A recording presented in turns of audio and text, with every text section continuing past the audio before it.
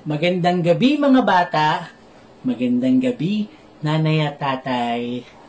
Magandang gabi ate at kuya. Magandang gabi bunso. Magandang gabi tito at tita. Magandang gabi lolo at lola. Ayan, magandang gabing muli lahat sa inyo. Ito ang kalawang gabi ng ating e-storytelling session with Kuya Ray. Ako muli, si Kuya Ray, at uh, binabati ko kayo ng isang magandang gabi. Sige, bago tayo magsimula sa ating kwentuhan, mag-review muna tayo. Ayan. Ano ba yung kwento natin kagabi? Ano yung pamagat ng ating kwento? Sige nga. Yan, tama, Mr. Wiggle at Mr. Waggle. Ito'y kwento ng dalawang magkaibigan. Yan. So, ngayon, meron tayo ulit panibagong kwento. Meron akong dalawang kwento sa inyo. Pero bago tayo magsimula ng ating kwento, ay uh, maglalaro muna tayo ng uh, meksilan. Pwede ba yon?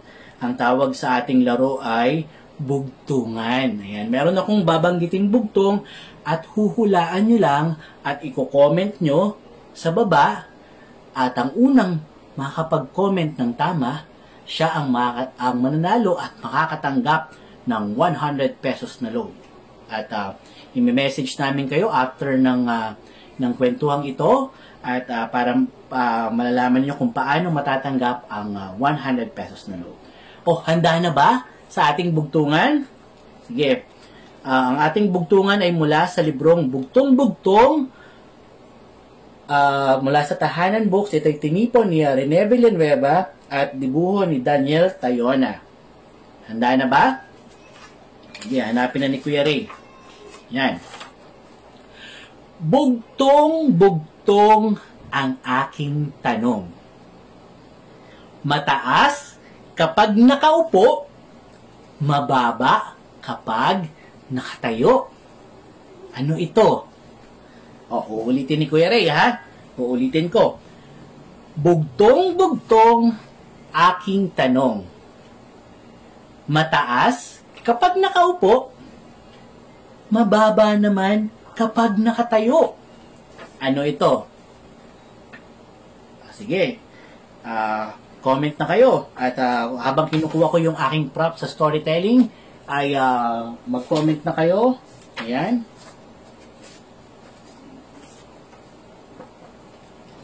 Ayan, maraming salamat sa, la, sa mga nakilahok at mami at titingnan ni Kuya Ray ang mga sagot ninyo. Pero uh, sasabihin ko muna yung tamang sagot. Okay, uh, ang tamang sagot ay aso. Ayan. Sige. Sana nakuha ninyo ano. So bukas muli mag, mag magkakaroon ulit tayo ng bugtungan. At ngayon, dadakutan tayo sa ating kwentuhan. Yan. So, bago tayo magsimula ng ating kwentuhan, kantahin muna muna ulit natin yung ating kwento. Okay, naalala nyo pa ba yung tinuro ni Kuya Ray kagabi? Yung oras na ng kwentuhan? O sabayan nyo na lang ako. Okay. One, two, three, and go! Maupo at paghanda, oras na ng kwentuhan, ang tenga at ang mata ay ating buksan. Oras na ng kwentuhan, kwentuhan, kwentuhan, oras na ng kwentuhan, handa na akong makinig. Oras na ng kwentuhan, kwentuhan, kwentuhan, oras na ng kwentuhan, handa na akong makinig. Ulitin natin Maupo at maghanda, oras na ng kwentuhan, ang tenga at ang mata ay ating buksan. Oras na ng kwentuhan, kwentuhan, kwentuhan, oras na ng kwentuhan, handa na akong makinig. Oras na ng kwentuhan, kwentuhan, kwentuhan, oras na ng kwentuhan, handa na akong makinig. Ayan, mga bata, handa na tayong makinig lahat. So, ang una nating kwento ay tungkol sa alaga kong aso. Ayan. Ang kwentong ito ay natutuhan ko kay uh, Kuya Darrell, isa sa aming mga core volunteers sa The Storytelling Project. At siya ngayon ay nasa ibang bansa na, nag- nag-aaral muli. Ayan, magandang, magandang gabi o umaga sa iyo dyan, Kuya Darrell. Ang uh, pangalan ng aking aso ay Bingo. Ito, sulat ni Kuya Ray.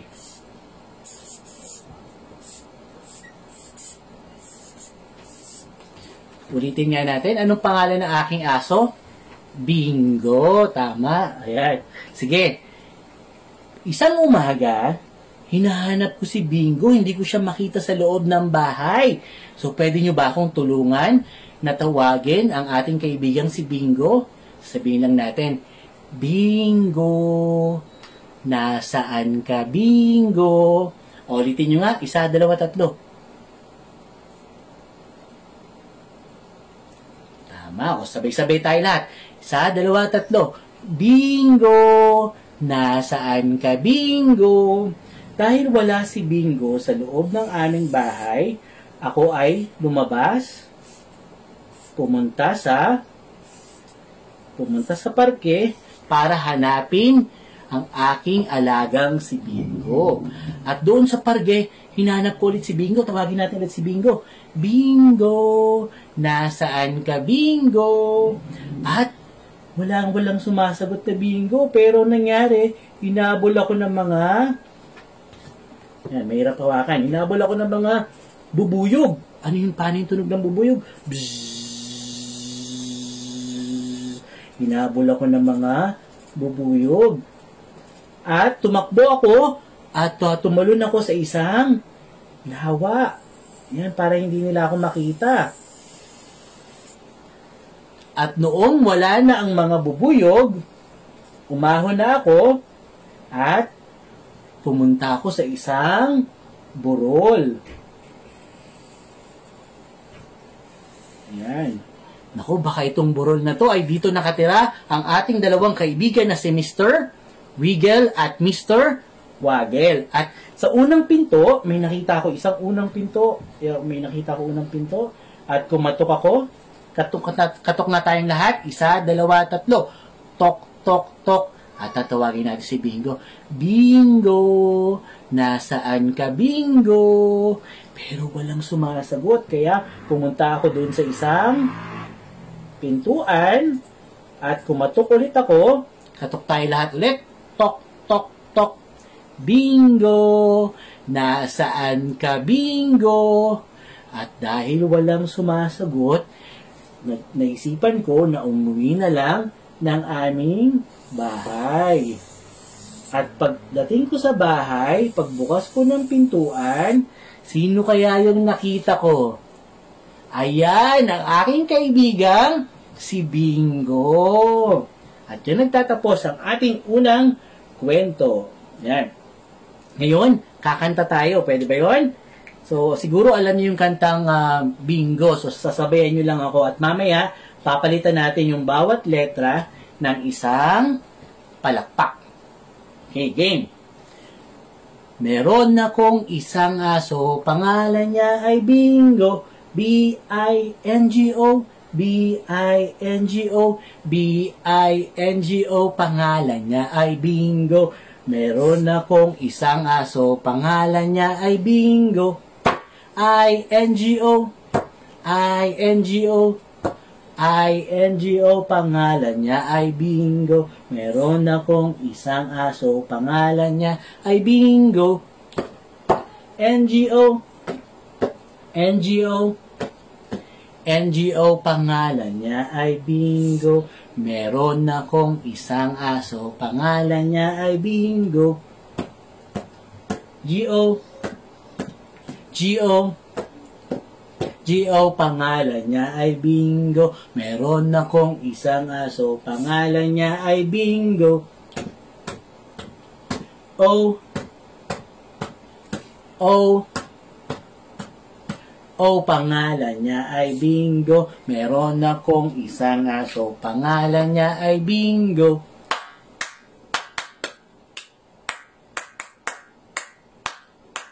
Pangalan niya ay Bingo. Ayan, nagustuhan niyo ba yung kwento? O sa ating mga ah, magulang, ah, pwede natin pong ah, gawin iyon, practicein natin at gawin niyo ulit sa mga bata at ah, sigurado masisiyan sila. Yan. So bago tayo dumako sa ating pangalawang kwento, nakalimutan kong magbigay ng tips sa ating mga uh, magulang, kina ate at kuya, kina tito at tita. So sa pagkukwento po, ang uh, kahagabi nagbigay tayo ng tips. Ngayon, ang uh, tip, isa sa mga tips ni Kuya Ray at uh, dapat natin alalahanin sa pagkukwento ay una ay uh, tayo ay lahat, tayong lahat ay kwentista. Ayan, tayo pong lahat ay may sari kanya-kanyang uh, paraan ng pagkukwento merong uh, uh, merong nagkukwento na medyo hyper, merong nagkukwento na malumanay lang, pero sa pag sa bedtime stories, maganda po sana yung yung yung malumanay, malumanay. Ako po ang style ko po ay uh, medyo hyper si Kuya Ray. Yan. At yung mga ginawa ko po kanina, yun ay tinatawag na draw and tell. So marami pong uri ng ng storytelling technique.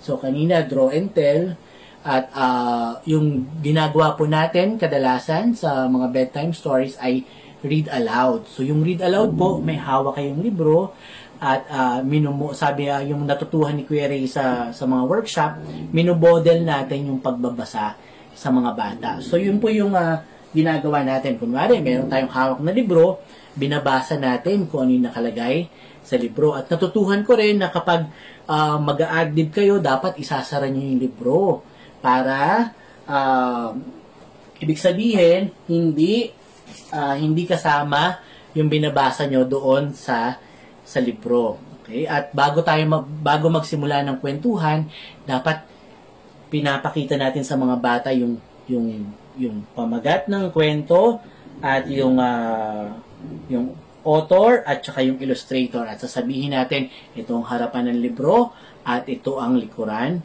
ng libro. So, ayan po. At kasi daw, sabi ng nagturo sa aming guro, yung mga bata daw po, pag nagbubuklat ng libro, kung saan-saan nagsisimula.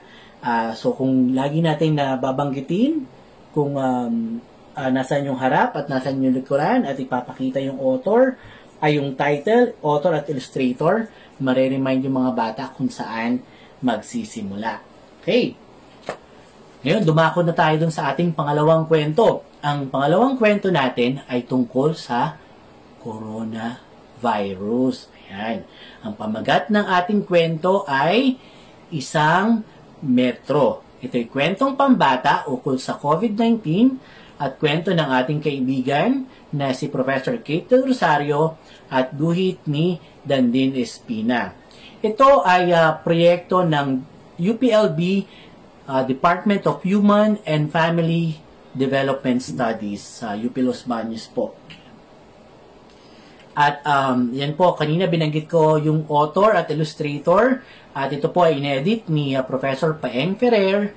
At uh, ang layout artist si Sir Paeng din, isa rin kaibigan natin.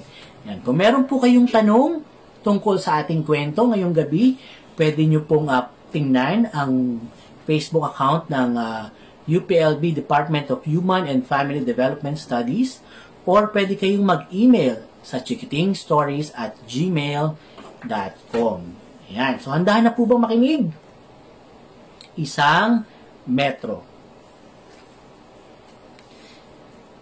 Gaano po ba kalayo, kalayo ang isang metro? Tanong. Ay, ulitin, ulitin ni Kuya Ray. Yan, isa pa. Ah, isang metro. Gaano ba kalayo ang isang metro, nanay? Tanong ni Ella kay Aling Marie isang umaga. Eh, bakit mo naman natanong, anak? Sagot ni Aling Marie habang naghahanda ng almusal. Narinig ko po kasi sa balita na kailangan daw po ng isang metro ang layo tuwing pumipila sa mga pamilihan. Nakita ko rin po sa TV, nakaupo sila ng malayo sa isa't isa Bawal daw po munang magtabi-tabi para hindi mahawa o makahawa ng uh, ano ba yon? Yung virus nga ba ang tawag doon? Sambit ni Ella. Tama ang narinig at nakita mo. Pansamantala, hindi muna pwedeng maglapit-lapit ang mga tao dahil merong virus na sobrang liit at hindi natin nakikita. Coronavirus ang tawag sa virus na ito. Kapag mayroong virus na ito, ang isang tao, pwede siyang magkaroon ng lagnat ubo, pananakit ng katawan, o uh, mahirapan huminga. Ang iba naman ay uh, masakit din ang tiyan at lalamunan. Malayo po ba iyon? Hindi na po ba ako pwedeng makipaglaro ng nanay at tatay kay Ben pag isang metro ang layo? Hindi ko na rin po ba pwedeng ayusin ang mahabang buhok ng kaibigan kong si Julie? Malungkot na sagot ng bata. Tuwing uubo ang taong may sakit, sumasama ang virus sa kanyang ubo na maaring makahawa sa taong malapit sa kanya. Pwede ring magkaroon ng coronavirus ang katabi niya. Pero dahil hindi niya nakikita ang virus, hindi niya alam na maaring makahawa siya sa iba. Hindi ito may iwasan kaya kailangan isang metro ang layo ng mga tao sa isa't isa. Pansamantala lang ito hanggang uh, magamot ang mga may sakit at mawala na ang lahat ng virus. Ano po ang pwedeng gawin, nanay, para hindi na mahawa o hindi makahawa ng coronavirus? Pag-aala, pag-aalalang sagot ni Ella. Halika, ay pumunta tayo sa kusina ang yaya ni Aling Marie. Dinala ni Aling Marie si Ella sa lababo at tinuruang maghugas ng kamay. Kailangan lagi tayong naguhugas ng kamay gamit ang sabon at tubig para siguradong uh, tayong malinis ang ating mga kamay tuwing hawak tayo sa ating sarili. Pinunasan ni Aling Marie ang mga kamay ni Ella. Iwasan nating hawakan ang ating mata, ilong, bibig, lalo na kapag nasa labas ng bahay. Kung uubo, umubo sa ating siko at huwag sa kamay. Iwasan din munang uh, makipagkamay sa ibang tao. Eh, pa, eh, paano kaya pwedeng bumati sa iba nang hindi nakikipagkamay? Pwedeng, pwedeng kumaway, nanay. Pwede rin uh, mag-small heart. Nakangiting sagot ni Ella. Eh, tama. Eh, pwede nga. Kaya sa panahong ito, hindi na muna tayo pwedeng lumabas ng bahay para maging ligtas tayo at ligtas din ang iba. Sabi ni Aling Marie. Pansamantala lang naman pala pala nanay, hindi naman masyadong magtatagal. Akala ko, hindi na ako maaaring makipaglaro kina Julie at Ben. Ganito po ba ang isang metro, nanay? Ibinuka ni Ella ang kanyang kamay ng may isang dangkal habang nakasingkit ang mga mata.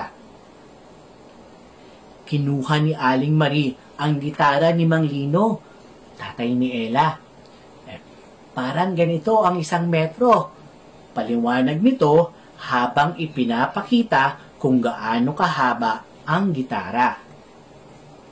Matapos ay dinala ni Aling Marie si Ella sa pinto ng kanilang bahay. Tumayo ka sa, sa isang gilid ng pinto at ako naman sa kabila.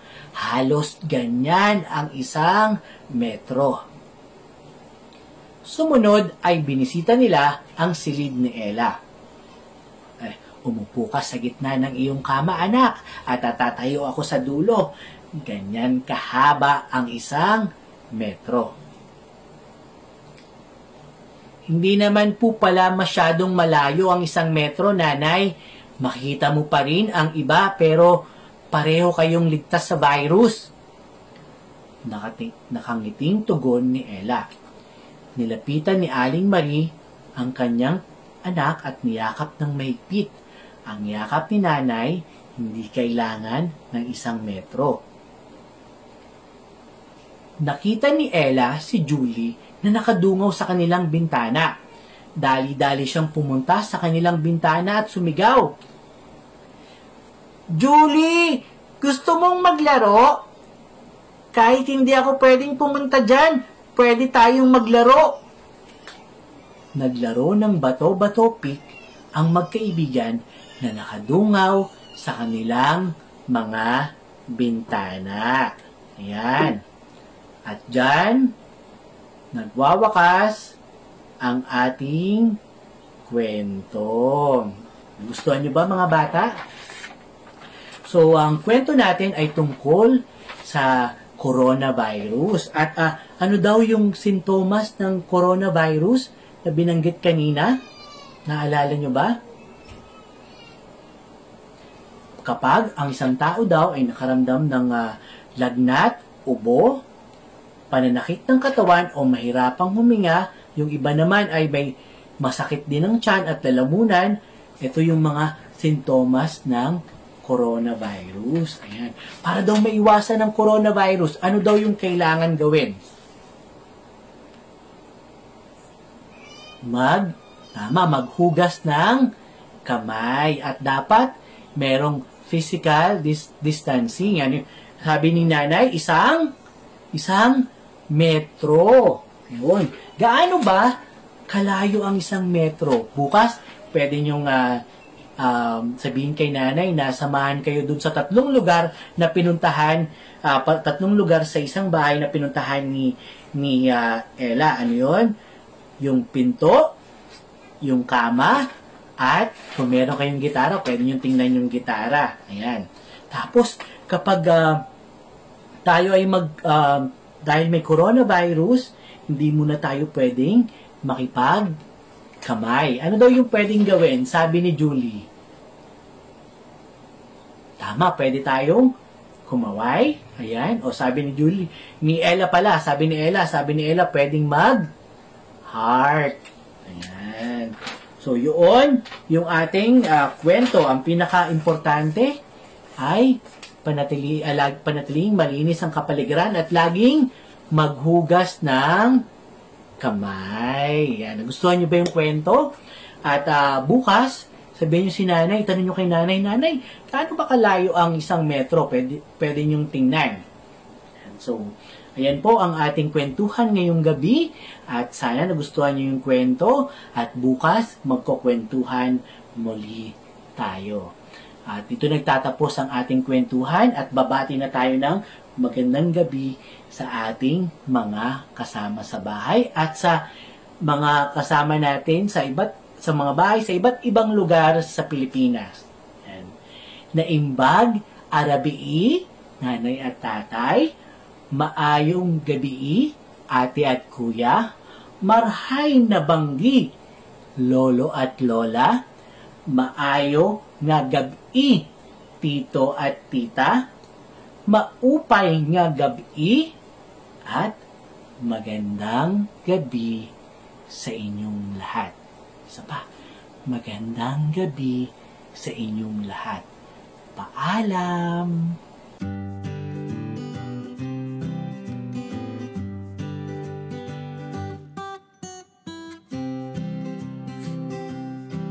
Magandang araw muli, mga magulang at mga guro. May dalawang kwento tayo sa episode na ito, yung tungkol kay Bingo at tungkol sa isang metro. Yung tungkol kay Bingo, siguro hindi ko alam kung ang inyong anak o inyong estudyante ay may alagang hayop. Pero dito, bibigyan natin ng importansya at diin ang responsibilidad na pag meron tayong inaalagaan, dapat ay binabantayan natin sila, at hindi natin sila hayaang masaktan o mawala. Tulad nung ginawa kay Bingo, hinanap to hanggang sa matagpuan.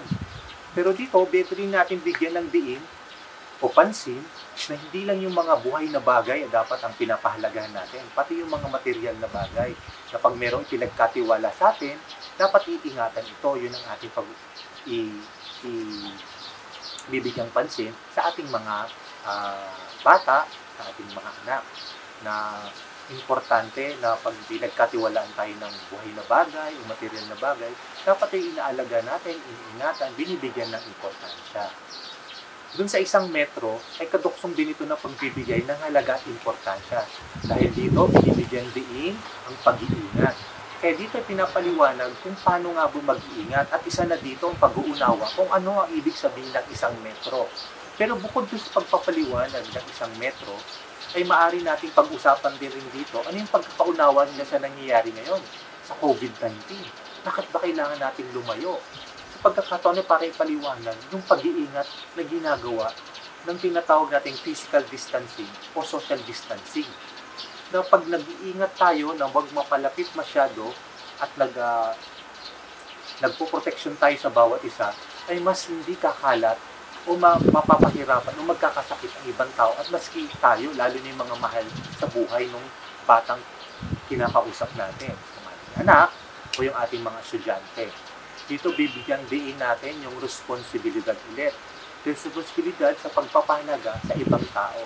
Kaya dapat maintindihan nila na, hmm, mahalaga pala talaga ang dumistansya ngayong panahon na ito dahil ayon sa pag-aaral nga, ang virus ay naipapasa sa pamamagitan ng pagsasalita pag kayo masyadong malapit, pag-uubo, yung uh, pagbahing, eh, sa distansya na isang metro ay medyo ligtas daw tayo doon. Pero mas maganda nga sana kung mas malayo pa at mag-iingat at siyempre gagamit no maskara. Pero ang pinaka-importante dito ay mas maunawaan nila na ginagawa natin ito hindi ta para lumayo sa ibang tao, kundi yung importansya na mahalaga kasi sila sa atin. Kaya dapat natin sila ingatan. Tulad nung dati, pag lumalayo, yung sabihin galit.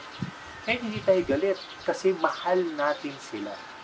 So mahal na rin dapat yung ibang tao, mahal niya yung pamilya natin, kasi yun yung importante sa isang relasyon, yung responsibilidad ng pag-iisip ng makakabuti sa bawat isa. So doon natin pag-uusapan yung mga bagay nito.